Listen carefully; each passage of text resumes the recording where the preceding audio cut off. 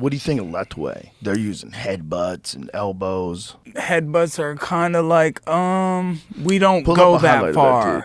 yeah, he's amazing. This this cat who's the king of Lethwei is this uh, wild dude. Who, he he does headbutts in combinations. Lethwei is the sport. Yeah. Okay. Yeah, it's basically like like a more brutal version of Muay Thai, where they allow headbutts. And this dude is actually from Canada. I've seen And him he- before. This guy fucks everybody up. He man. headbutts the shit out of people. Uh, I would he fucks everybody I up. want man. to fight him. He's a killer.